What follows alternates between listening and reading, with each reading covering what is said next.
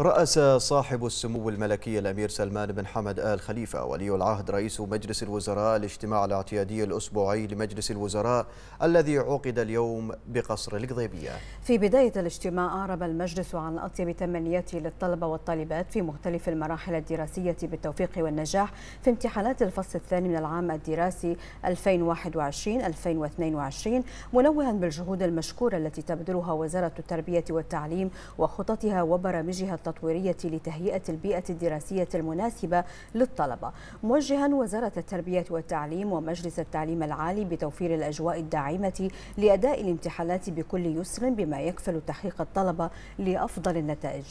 ثم وجه صاحب السمو الملكي ولي العهد رئيس مجلس وزراء الجهات ومراكز الخدمة الحكومية لمواصلة تبني المبادرات التي تعزز كفاءة الخدمة الحكومية المقدمة للمواطنين والمقيمين لتكون أكثر تنافسية وجودة. من خلال ترسيخ ثقافة التميز والإبداع والابتكار التي تسهم في تطوير العمل الحكومي وحث كافة مراكز الخدمة الحكومية. على المزيد من البذل والعطاء الذي يقود للتميز في الخدمة الحكومية وفي هذا الصدد اطلع المجلس على مذكرة اللجنة التنسيقية بشأن نتائج الدورة الثالثة من تقييم مراكز الخدمة الحكومية للعام 2021 والتي شملت 86 مركزا حكوميا حصل 19 مركزا منها على الفئة الذهبية. وستة مراكز على الفئة الفضية حيث أعرب المجلس عن الشكر والتقدير للمراكز الحاصلة على الفئتين الذهبية والفضية على جهودها في تطوير عملها وجعله أكثر تميزا في تقديم الخدمات.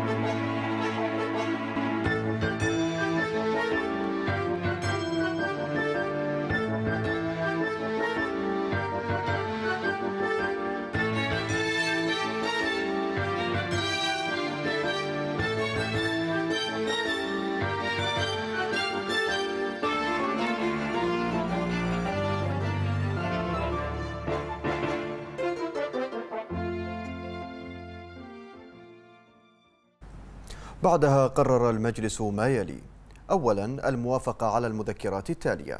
مذكرة اللجنة التنسيقية بشأن إصدار دليل لتنظيم العلاقة التعاقدية بين الجهات الحكومية والمستثمرين من القطاع الخاص عبر بيان الاشتراطات والأحكام المتعلقة بعقود الشراكة بما يسهم في تنفيذ المشاريع العامة وتشغيلها بكفاءة وفعالية وتعزيز الشفافية والنزاهة في الإجراءات وتعزيز الاستفادة من خبرات وإمكانيات القطاع الخاص. مذكرة معالي وزير الداخلية رئيس لجنة محاربة التطرف ومكافحة الإرهاب وتمويله وغسل الأموال بشأن اعتماد تقرير المتابعة المعززة الثالث لمملكة البحرين لمجموعة العمل المالي المينا فتف والذي أظهر حصول مملكة البحرين على مراكز عالية في 39 توصية من أصل 40 توصية حيث أعرب المجلس عن شكره وتقديره للجنة محاربة التطرف ومكافحة الإرهاب وغسل الأموال رئيسا وأعضاء على جهودها في هذا الجانب. مذكرة سعادة وزير العمل والتنمية الاجتماعية رئيس مجلس إدارة هيئة تنظيم سوق العمل بشأن مؤشرات سوق العمل خلال الربع الأول للعام 2022 والتي أظهرت النتائج الإيجابية لخطة التعافي الاقتصادي على سوق العمل حيث ارتفع حجم الكوادر الوطنية العاملة في القطاع الخاص خلال الربع الأول من عام 2022 بنسبة 4.6% فيما ارتفع حجمها في القطاع العام بنسبة 2.3% عن ذات الفترة من عام 2021